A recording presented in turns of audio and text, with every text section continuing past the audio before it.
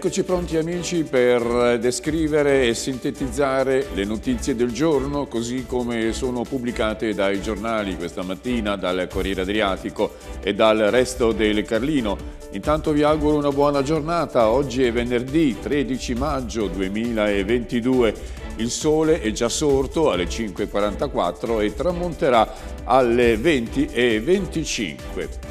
E oggi per quanto riguarda il santo del giorno vediamo che non si festeggia un santo particolare ma il libro dei santi eh, ci invita a considerare e a meditare sulle apparizioni di Fatima. De oggi dunque si festeggia la Beata Vergine di Fatima. Il 13 maggio del 1917 Lucia, Francesco e Giacinta, tre ragazzi rispettivamente di 10, 9 e 7 anni e di un piccolo paese del Portogallo, videro su un leccio apparire una signora tutta vestita di bianco, più splendente del sole, hanno poi dichiarato. In totale furono sei le apparizioni di questa signora che invitò pressamente gli uomini alla preghiera, alla conversione e alla penitenza. E per questo avvenimento Fano TV si collegherà alle 10 di questa mattina con Fatima in occasione appunto del 105 anniversario delle apparizioni. Era, ripeto, il 13 maggio del 1917. Ed ora vediamo alle previsioni del tempo, vediamo che il tempo si mantiene si mantiene bello, si mantiene bello su tutta la regione Marche, lo vediamo qui nella grafica, giornata stabile e asciutta con cieli sereni o al più leggermente offuscati da velature in transito la sera. Le massime eh, sono alte e al di fuori della media stagionale arriveranno fino a 27 gradi. Sulle coste spireranno venti da una direzione di ovest, così come nell'entroterra e le minime sono 17 gradi ma ormai li abbiamo oh, lasciati questi gradi indietro e la temperatura sta aumentando. Bene, allora iniziamo la nostra rassegna stampa a partire dal resto del Carlino, questa mattina con una buona notizia, una buona notizia per, per gli over 65. Arrivano 200 euro al mese, sono gli assegni di cura riservati agli anziani non autosufficienti residenti nei nove comuni dell'ambito sociale. La graduatoria è stata stilata in base alla ISE. In arrivo dunque entro questo mese, entro il mese di maggio, questi contributi, 200 euro. Non sono molti ma possono aiutare i bilanci di chi insomma, non ha molte disponibilità economiche. A Fano i 200 euro andranno a 142 anziani, 35 a quelli di Mondolfo, 27 a quelli di Pergola, 20 a Mondavio, 18 a San Lorenzo in Campo e poi 17 a San Costanzo e a Terre Roveresche, 12 a Monteporzio, 2 a Fraterosa. La graduatoria, dicevo, è stata approvata nella giornata di mercoledì proprio dall'ambito sociale.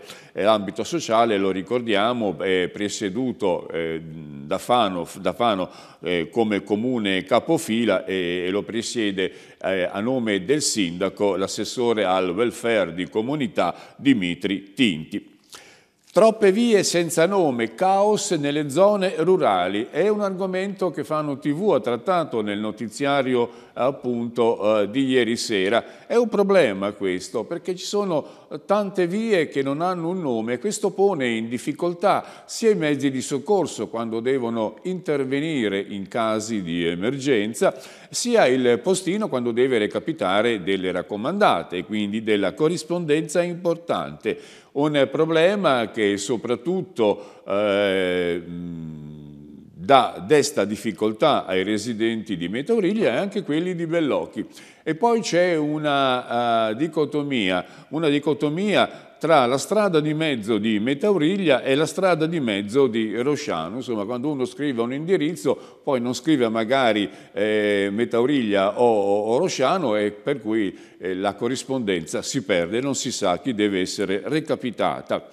È un processo complicato, ha detto Miccoli, che è il eh, funzionario che presiede all'ufficio della toponomastica del comune di Fano, eh, è un problema complicato che richiede il coinvolgimento dei cittadini e che si giustifica nelle aree rurali raggiunte dalla urbanizzazione dove c'è un numero consistente di abitazioni o quando la richiesta avanzata è degli stessi cittadini. Insomma, bisogna dare il nome a queste vie. Proposte non mancano, di solito si diceva che mancavano le vie, in realtà non è così.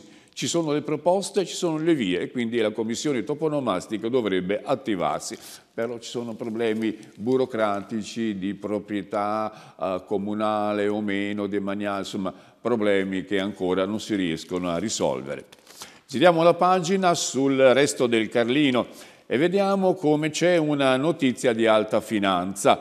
L'impresa di navigazione Montanari, una delle imprese leader dell'economia fanese, ma io direi dell'economia italiana, prende il largo e acquista nove, eh, anzi sei navi. Beh, sono navi importanti, navi di grosso tonnellaggio. Il prezzo, pensate, è di 108 milioni di dollari finanziati con banche illimiti. La flotta del gruppo fanese torna così ai fasti passati, 18 scafi in totale, una flotta dunque considerevole. E dietro questa operazione ci sarebbe il gruppo De Agostini che controlla anche i debiti di Marina De Cesari.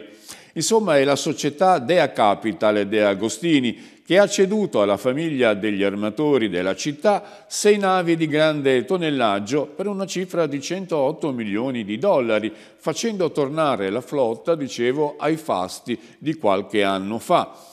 Secondo poi le indiscrezioni riportate dal resto del Carlino, eh, la società cittadina che ha la presidenza Corrado Montanari pare voglia allargare il suo business, lavorando non solo nell'ambito del petrolio e del gas, come ha fatto fino adesso, ma anche nel trasporto di altre materie prime. E questo sembra che sia un momento eh, importante e eh, particolare per quanto riguarda il trasporto su nave, dato che la questione del petrolio, del gas la guerra tra la Russia e l'Ucraina eh, destano, compli destano complicazioni. Oggi apre anche il Bastione San Gallo, il, uno dei monumenti più belli, più emergenti della Fano antica. Bastione San Gallo che viene dato in gestione dal comune di Fano all'associazione eh, Work in Progress è un'associazione di ragazzi che da tempo organizza, soprattutto nel periodo estivo, manifestazioni, iniziative di carattere eh, musicale, laboratori, mostre, incontri, insomma di intrattenimento per quanto riguarda appunto fanesi e turisti. La Work in Progress è subentrata all'associazione San Gallo che ha lasciato la gestione del bastione anzitempo e quindi è subentrata quale seconda eh, concorrente che ha partecipato alla gara d'appalto. La Work in Progress subentra ad un'altra associazione, ma devono ancora iniziare i lavori per la pedana di accesso che spettano all'amministrazione comunale, precisa il resto del Carlino, precisa Anna Marchetti. Fino alla fine di maggio, ha detto Davide Catarossi, appunto che rappresenta l'associazione, saremo operativi solo nel weekend, venerdì, sabato e domenica poi a partire dal mese di giugno tutti i giorni, eh, sia mattina eh, che sera, sia al giorno che alla sera, con laboratori per bambini, concerti, incontri, proiezioni cinematografiche, insomma quel bastione che non è solo un monumento storico, così da visitare magari distrattamente, anche se meriterebbe un'attenzione particolare perché è un bellissimo baluardo costruito eh, dal Papa, regalato anche, anzi dal Papa ai fanesi, e poi fatto costruire da un grande architetto come Antonio da Sangallo e per difendere la città dagli assalti dei pirati saraceni, insomma proprio lì in riva al mare riguardando Ancona, insomma che era una delle mete preferite delle galee saracene. Ebbene, dicevo che questa iniziativa eh, si pone così a completamento di tutte le altre che eh, subentreranno nel corso della stagione estiva. Rocca Malatestiana, Bastione San Gallo, Darsena Borghese e via dicendo. E poi c'è una contestazione eh, nei confronti dell'amministrazione comunale fatta da Fratelli d'Italia che insomma dicendo che il bicchiere è mezzo pieno e mezzo vuoto eh, l'amministrazione comunale eh, esulta per la consegna della bandiera blu, Fratelli d'Italia che è l'opposizione invece critica l'amministrazione perché non tutte le spiagge hanno ricevuto il vessillo, in modo particolare due spiagge importanti come il Lido e l'Arzilla. Bandiera blu, che boomerang intitola il giornale, l'inquinamento da batteri è un problema non ancora risolto. E qui vediamo la foto di Lucia Tarsi, consigliera comunale di Fratelli d'Italia. Guccini, oltre l'amore, la cittadinanza onoraria verrà concessa dal sindaco di Mondolfo, Nicola Barbieri, al cantautore durante una uh, seduta uh, del Consiglio Comunale eh, ad hoc convocata per il 25 giugno prossimo.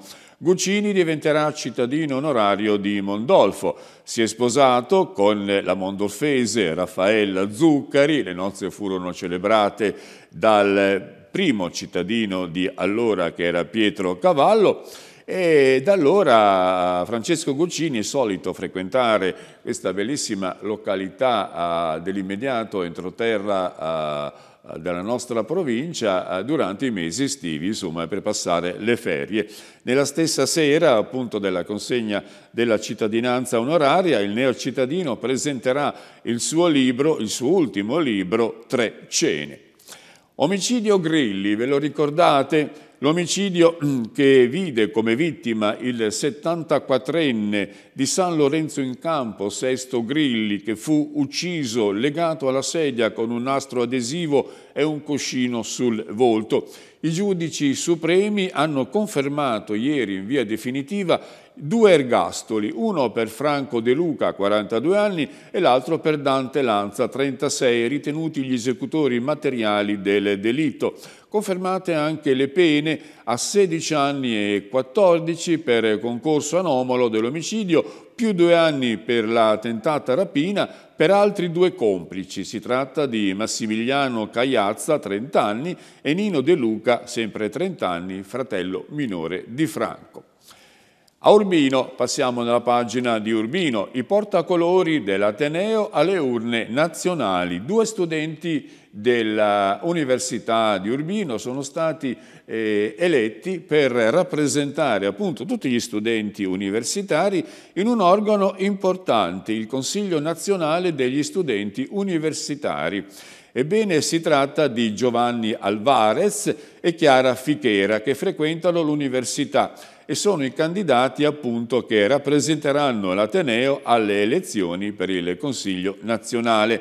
Il Consiglio è un organo di rappresentanza universitaria di livello nazionale composto da 28 studenti.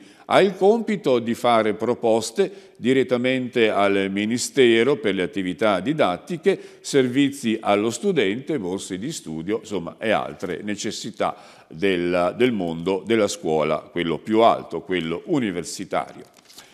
Ancora sulla pagina del Resto del Carlino Parliamo della Notte dei Musei. Notte dei Musei che si svolge sabato prossimo, tra sabato e domenica, coinvolgerà ovviamente tutte le istituzioni eh, nazionali, eh, si entrerà in tutti i musei, le aree archeologiche di carattere nazionale pagando il biglietto simbolico di un euro, quindi un'occasione importante per visitare importanti siti e ovviamente si potrà visitare in, con queste condizioni anche il Palazzo Ducale di Urbino. La notte dei musei torna a brillare, riparte l'iniziativa, tre luoghi visitabili, la Galleria Nazionale delle Marche, e appunto Palazzo Ducale, il Museo Diocesano e gli Oratori. tra le novità eh, di Palazzo Ducale l'esposizione delle ceramiche con maioliche del Cinquecento. È un'occasione per fare un bellissimo viaggio nei tesori della città del Duca e nelle meraviglie del Rinascimento. Diamo un'occhiata anche alle pagine di Pesaro pubblicate dal eh, resto del Carlino e dato che abbiamo parlato di musei, parliamo anche del Museo Oliveriano che riaprirà ad agosto. Dopo un lungo periodo di chiusura e l'inaugurazione verrà fatta con il Ministro ai Beni Culturali eh, Franceschini. I lavori di riqualificazione dovevano durare solo 120 giorni, dalla chiusura invece sono trascorsi, pensate, sette anni e non si capisce bene perché questo lungo ritardo. Comunque l'apertura, eh, l'annuncio dell'apertura è stato dato dal sindaco, dal vice sindaco, anzi Vimini.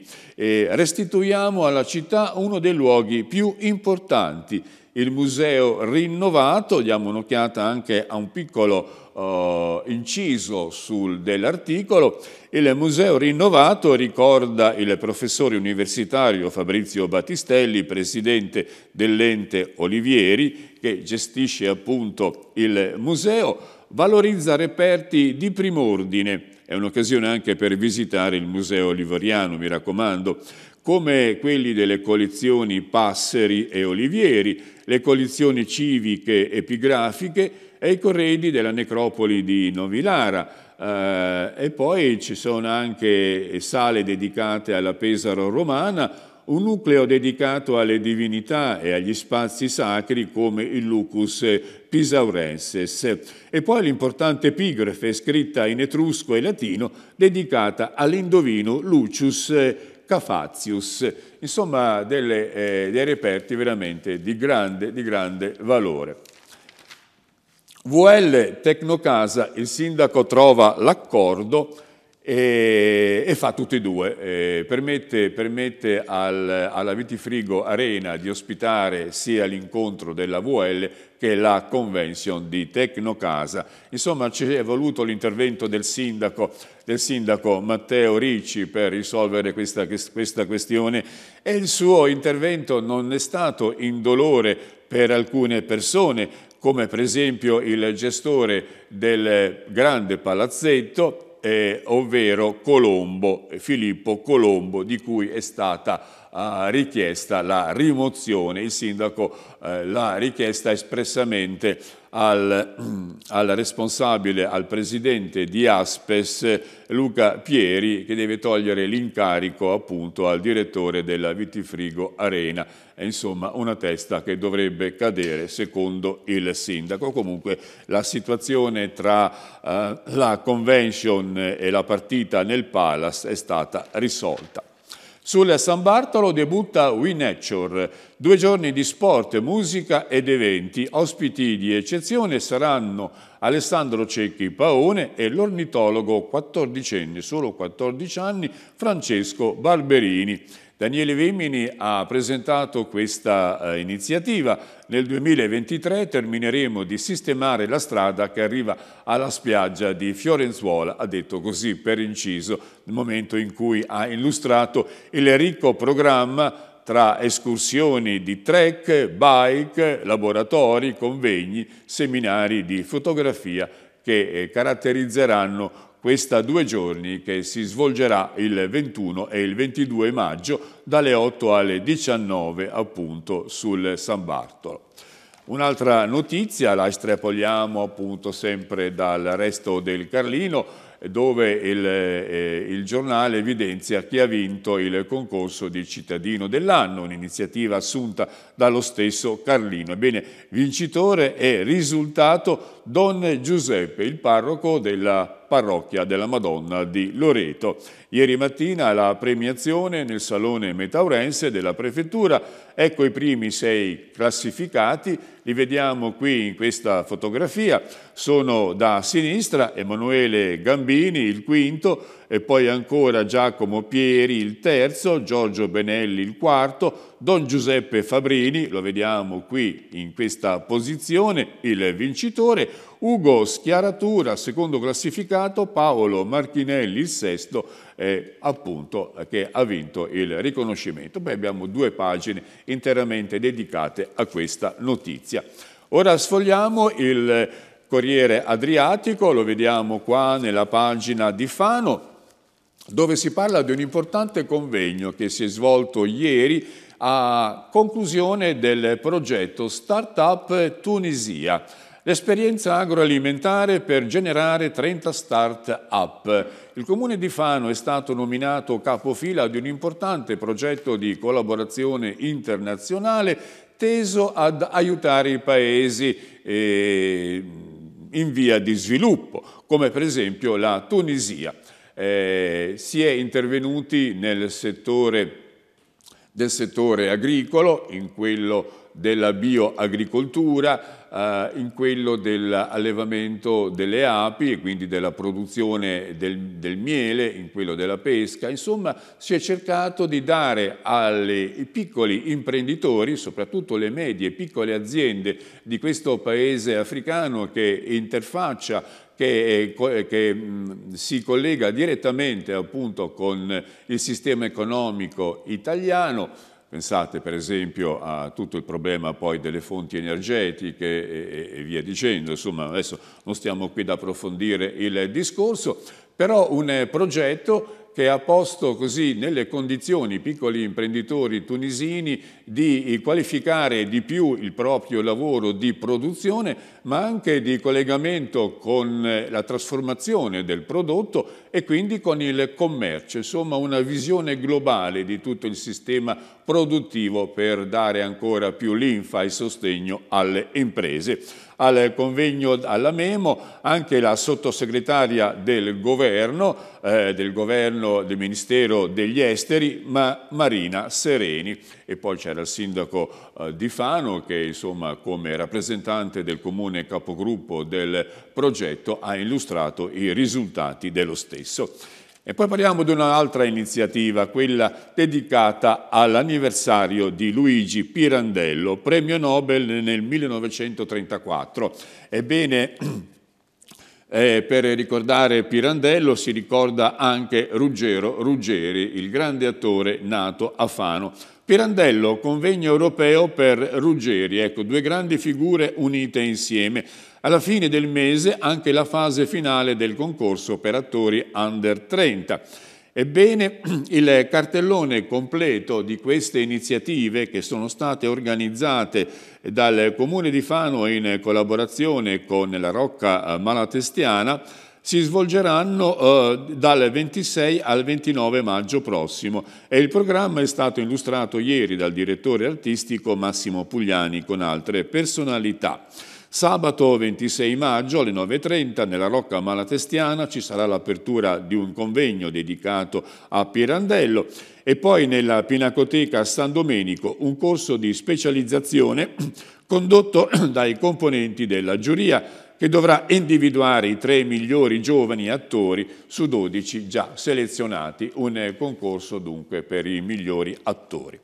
Aeroporto, scade l'asta pubblica scade l'asta pubblica perché in questa occasione le quote che sono in proprietà della provincia dovranno essere messe all'asta. La provincia non ne vuole più sapere eh, dell'aeroporto di Fano e quindi dismette le proprie azioni. Offerte dovranno essere presentate entro lunedì alle 12.30. Il bilancio del 2021 in perdita solo per gli ammortamenti in realtà ha segnato di grandi progressi in questi ultimi anni e se non ci fosse la questione degli ammortamenti che poi ha generato il cambio di gestione, il bilancio ora sarebbe eh, pari se non inattivo. Comunque l'aeroporto di Fano costituisce sempre un gioiellino che dovrebbe essere valorizzato di più. Comunque incombe anche la fine della società uh, Fanum Fortune che lo gestisce perché tutto poi dovrebbe essere messo all'asta. Ma questo è un altro discorso. Nega i soldi della retta dell'asilo perché li vuole giocare alle slot. Ebbene, un marito è stato messo sotto accusa per maltrattamenti. La moglie finisce due volte al pronto soccorso per le botte che ha ricevuto. Si tratta di un 43enne tunisino accusato appunto di maltrattamenti in famiglia e lesioni nei confronti della moglie. Entrambi risiedono a Fano, non voleva dare i soldi per pagare la retta uh, dell'asilo della bambina e voleva usarli invece per giocare alle slot machine. Insomma, siamo arrivati a questo punto. La struttura polivalente nella memoria di Sarena, domani l'inaugurazione a Castel Sant'Angelo sul Nera, il legame con Sant'Ippolito. I genitori di Serena Polverari, mamma Lorena e babbo Marziano, sono lieti di invitare la cittadinanza alla inaugurazione della struttura polivalente domani a Castel Sant'Angelo sul Nera alle 10.30.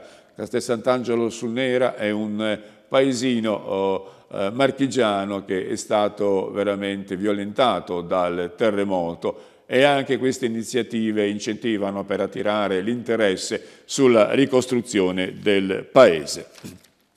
Vediamo anche la pagina di Senigallia, scatti alla rotonda e street food, sarà un weekend tutto da gustare eh, collezioni di foto del maestro Giacomelli, il portabandiera appunto dell'immagine di Senigallia, un grande fotografo italiano, verranno messe all'asta. Notte dei musei e visite guidate anche in questa località. Insomma, eh, sabato e domenica prossima ci sarà l'imbarazzo della scelta per visitare le bellezze del nostro territorio. Vediamo anche qualche notizia di Pesaro. Due pagine sono dedicate alla conclusione del problema che si era evidenziato alla Vitifrigo Arena per la concomitanza di due iniziative.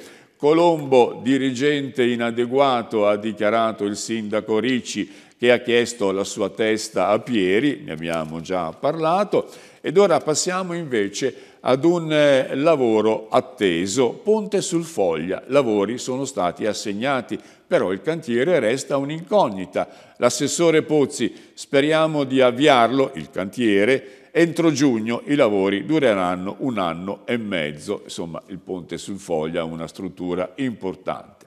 E poi ancora WeNature tra clima e ricerca con gli esperti e gli scienziati, due giorni di eventi nel cuore verde al Parco Nazionale del San Bartolo e poi la giornata degli infermieri che è stata celebrata eh, in modo particolare a Pesaro. Un grazie ha detto la eh, presidente appunto dell'associazione che tutela i diritti degli infermieri e un grazie non basta. Non basta, lo ha dichiarato appunto perché il vero nocciolo della questione è, è il rapporto tra i sacrifici che fa questo personale ospedaliero e invece le ricompense che riceve. Non basta soltanto dire bravo, occorre qualcosa di più. La giornata internazionale, un premio dedicato alla Crinelli per la tesi di Laura Piccioli. E poi eh, è Laura Biagiotti appunto che interviene quale appunto rappresentante della categoria e lo vediamo qui in quest'altro articolo di fondo pagina. Siamo in eh, conclusione, non mi rimane altro che salutarvi, voglio soltanto farvi vedere un titolo per quanto riguarda lo sport. Fano, ci giochiamo la stagione in una gara ed è il Vasto Girardi domenica prossima che decreterà la sorte dei dei Granata. Dicevo, è l'ultima notizia, non mi rimane che salutarvi e augurarvi una buona giornata. A risentirci.